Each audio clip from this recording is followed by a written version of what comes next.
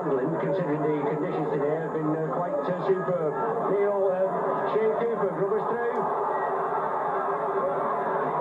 Drummond galloned it. Alan Hunts can't stop him, but Drummond comes in centre field.